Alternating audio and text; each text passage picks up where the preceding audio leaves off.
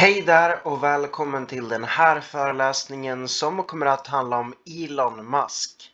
Mitt namn är Marcus Henriksson och jag utbildade SO-lärare.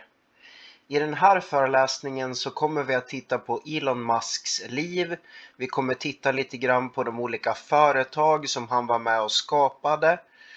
Vi kommer också titta lite grann på hur hans situation är idag vilka olika typer av företag han driver, vilka olika projekt han håller på med med mera. Så om det är de här sakerna som du är intresserad av, då har du kommit rätt.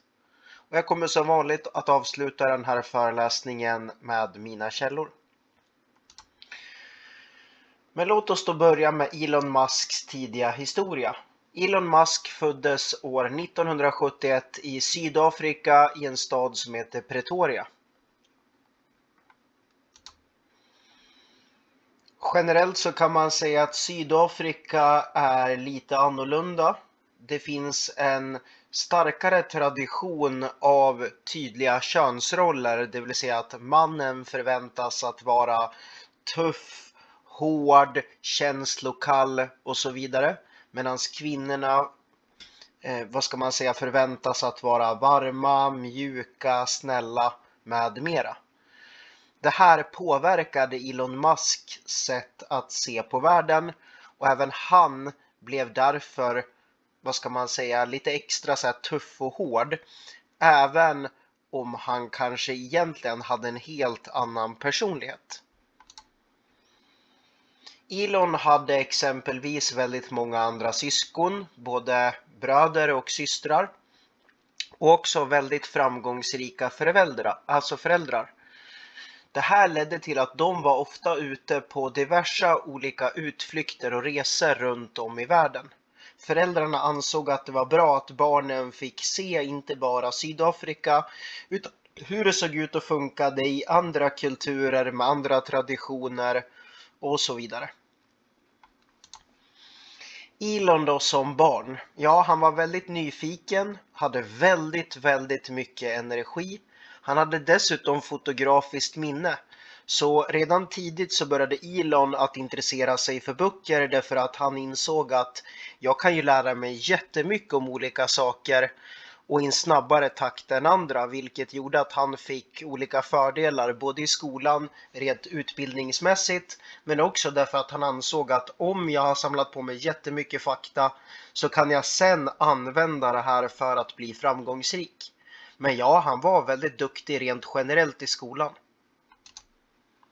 Han älskade som sagt att läsa böcker och inte bara då faktaböcker där han hämtade mycket kunskap utan han intresserade särskilt för sci-fi. Böcker som Liftarens guide till galaxen säger han är en väldigt så tydlig favorit. Likaså Sagan om ringen. Så redan här kan vi se att Elon Musks intresse för rymden föds. Men ja, Elon Musks föräldrar de bestämde sig för att skilja sig. Elon då bestämde sig för att helt enkelt bosätta sig med sin pappa, vilket då heter Errol. Och enligt Elon Musks själv då så eh, ville inte att hans pappa skulle bo enbart med honom. Men han tänkte att det här var bäst för farsan därför att annars skulle farsan bli helt ensam. I skolan då så blev Elon ibland mobbad. Framförallt därför att han var udda. Som sagt, eh, han var ju väldigt energisk, hade lätt för sig i skolan, var lite av en plugghäst. Tyckte mest om att sitta och läsa böcker med mera. När han var 17 eh, år gammal så flyttade han till Kanada. Tanken var dock hela tiden att ta sig till USA men han tänkte att om jag kan ta mig till Kanada så kan jag lätt sen därifrån ta mig in i USA. Men ja, han hade delvis ett eh, så här, halvkanadensiskt ursprung så. Så han skrev in sig på Queens universitet i Kingston i Kanada. Där så fattade han också tycke för en tjej som heter Justine Wilson som ni kan se här på bilden. När han gick i skolan då, alltså universitet, så insåg han att han kunde tjäna pengar ganska enkelt. Det vill säga att han behövde inte ta olika typer av arbeten utan han kunde liksom sätta sig in i ny teknik och sen använda den kunskapen för att sälja då egentillverkade och i princip pimpade datorer till andra studenter. Och ja, han åkte sen på olika typer av teknikmässor. Han lärde sig hur han skulle liksom själv kunna koppla olika datadelar. Han satte sig in i olika typer av program med mera. Men efter två års eh, studier då på Queens University så fick han ett stipendium som gjorde så att han kunde göra en sorts utbyte med University of Pennsylvania och på så sätt komma in i USA. Och han nappade direkt liksom på den här dealen. 1995 så startade Elon och hans bror Kimball eh, hans första bolag som heter ZIP2 eller SIP2. Och det de gjorde var att de skulle hjälpa då stora etablerade företag att ta sig ut på internet därför att internet var ju nu den här coola nya grejen. Och många företag insåg att de måste finnas på internet därför att där så kan de både berätta om företaget men också kanske sälja eventuella då produkter och tjänster. Men i och med att inte alla bolag visste hur de skulle göra så föddes då den här idén om ZIP2. Men ja, trots en hel del stora svårigheter då med att driva det här företaget därför att man fick faktiskt allt hårdare konkurrens och på ganska kort tid så lyckades man ändå få ett bud på 307 miljoner dollar av Compaq för bolaget.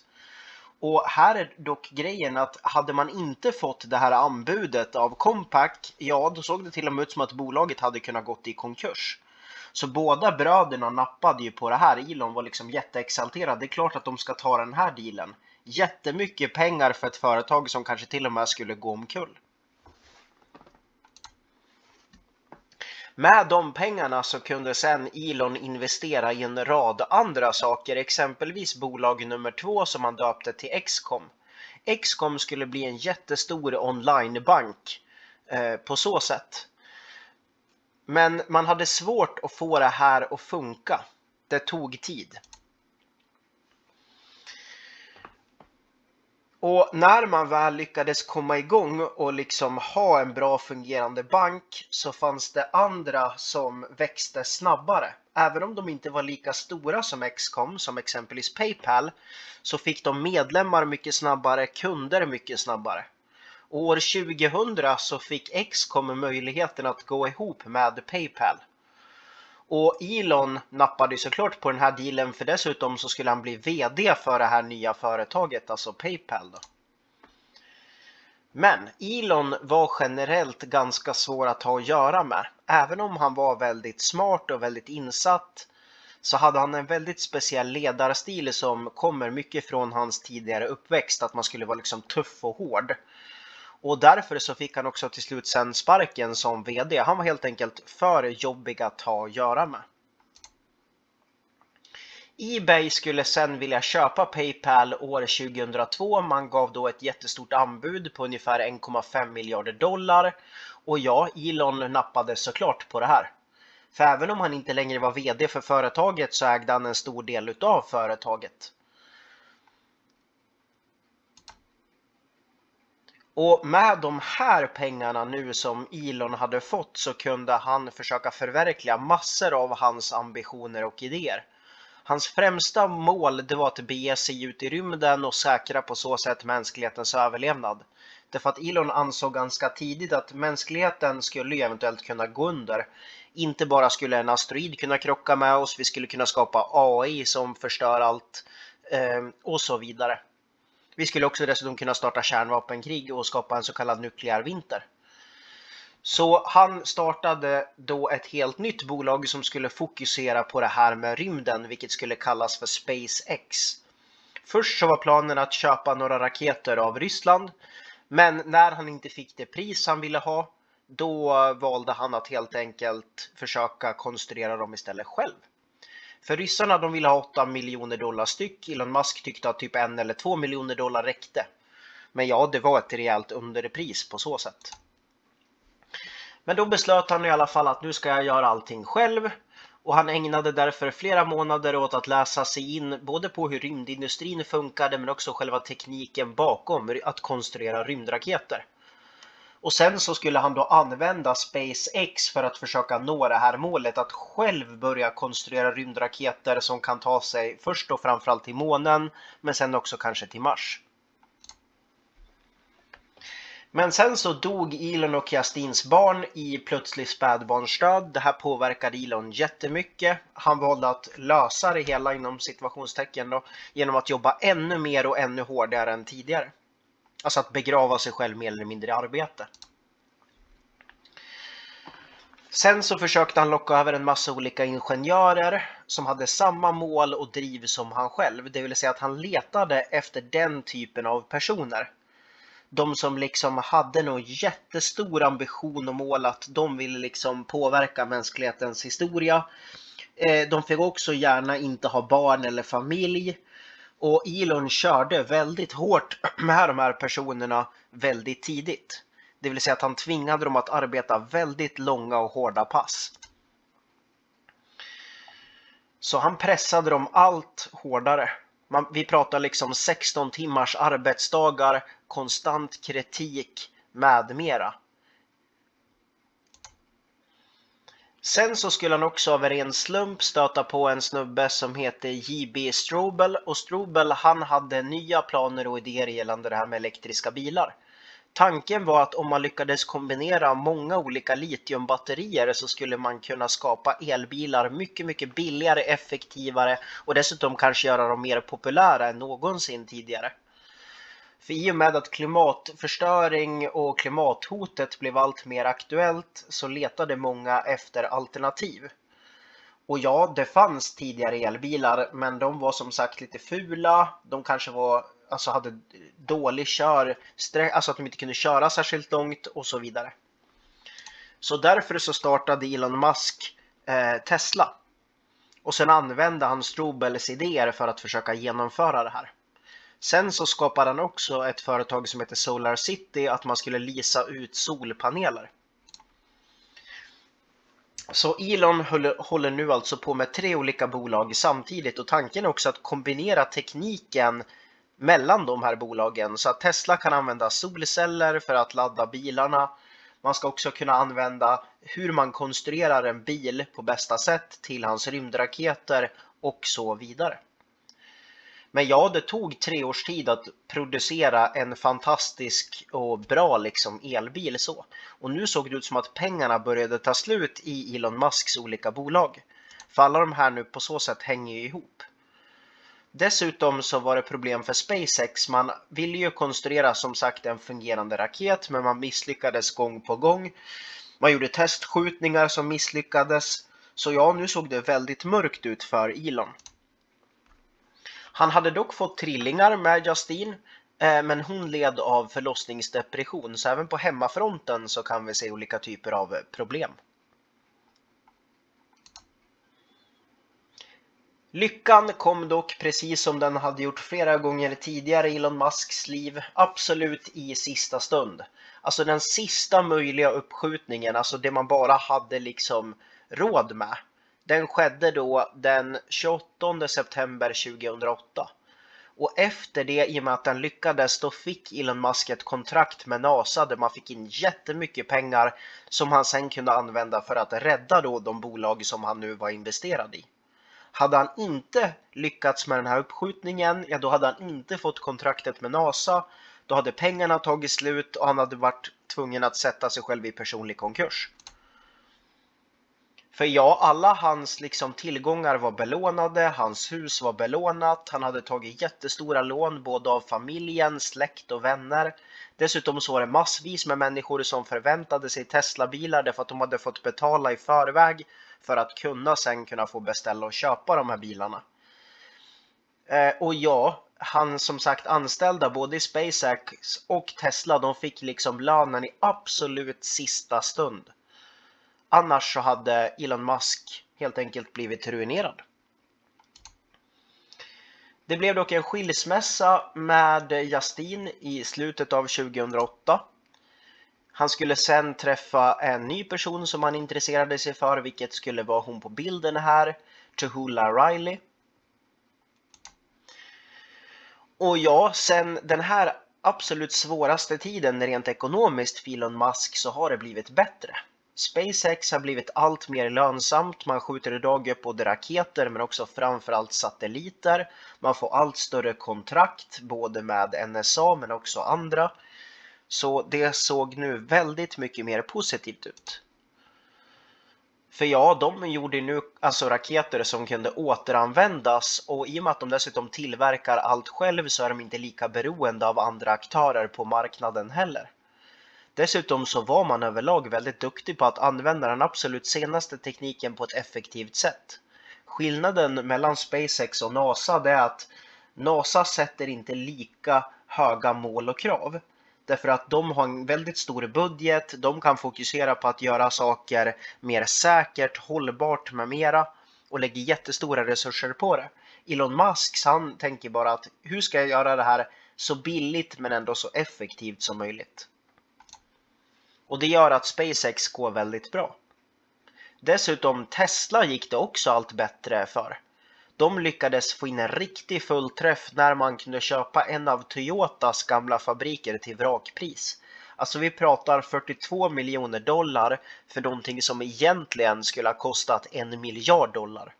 Och i och med att Tesla kunde köpa upp den här fabriken då kunde man börja tillverka bilar så att man kunde börja leverera bilarna i tid till kunderna. Eller ja, i tid. Man hade skjutit upp det gång på gång. Men det, alltså vad ska man säga, stoppade en katastrof.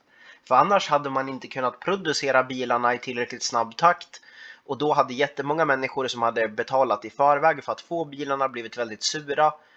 Så ingen vet liksom hur det hade blivit. Men nu lyckades man få in den här fullträffen.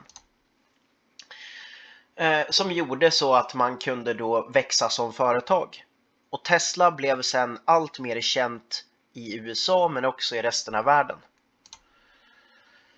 Solar City då? Ja, de lyckades tillverka väldigt billigt solpaneler vilket gjorde att man kunde börja sprida dem väldigt snabbt. För i och med att människor nu ville ha mer förnyelsebart då blev det här med Solar City en väldigt bra lösning för många. Hade jag inte råd att köpa solpaneler själv, då kunde jag hyra dem. Och dessutom så kunde de här solcellerna sedan användas för att ladda Teslas bilar, vilket Elon Musk hade tänkt ifrån första början. Så man börjar nu sätta upp laddstolpar på rekordtid, först i USA men sen också i andra delar av världen. År 2014 så kunde Elon Musk bygga världens största litiumbatterifabrik. Det har dock kommit kritik emot utvinningen av litium i och med att man använder barnslavar. Det blev en ny skilsmässa dock, den här gången mellan Elon Musks och Riley i och med att de hade vuxit isär. Kan också ha att göra med Elons personlighet och sättet att vara på om vi nu kommer ihåg hur han var som ledare. För ja, Elon Musk, han har liksom en rad saker han är bra på. Och han har en rad smarta strategier. Tänk nu bara på det här med hur han lyckades få ingenjörerna att jobba för honom. Eh, för han letade då efter det här drivet. Han hade dessutom en sorts framgångsrecept eller en plan. Att han skulle försöka få folk innan de tog studenten. Dels så krävde de då mycket lägre lön i och med att de inte var färdigutbildade. De blev dessutom låsta till hans bolag därför att inga andra ville anställa folk om man inte hade tagit studenten. Och dessutom så kunde han få dem att jobba överlag hårdare därför att om de inte hade någon familj och så vidare Ja men då kunde ju liksom han få dem att fokusera enbart på arbetet och ha de så 16 timmars arbetsdagar och då hade de ingen tid att skaffa familj och så vidare. Så det gjorde att de på så sätt arbetade hårdare. Dessutom så satte Elon extremt hårda krav och klarar de inte trycket då kunde han säga saker som att jag kan göra mitt jobb och ditt liksom, det är bara du som är värdelös. Eller du går att ersätta hur lätt som helst, tro inte att du är någonting. Och ja, tekniskt sett så hade han rätt. Han kunde göra deras jobb plus sitt eget. Och ja, han hade kunnat ersätta folk därför att Tesla och även SpaceX hade nu fått så pass positivt rykte så att det var jättemånga som ville jobba i de här bolagen. Det var bara det att många förstod inte hur hårt det faktiskt var. Eller hur det var att ha Elon Musk som chef. För ja, lite, alltså han är lite mer som en general än som en traditionell chef eller VD. Det vill säga det att han ger order och sen förväntar han sig att du levererar. Och ja, han arbetar ju minst lika hårt själv så, men man måste förstå liksom vilken nivå han ligger på. Enligt väldigt många som man har intervjuat så är Elon Musk på så sätt sin egen värsta fiende. Och ja, han har blivit liknad med personer som exempelvis Iron Man i Avengers. Eh, och hans bolag har ju nått liksom så massvis med toppnoteringar de senaste åren.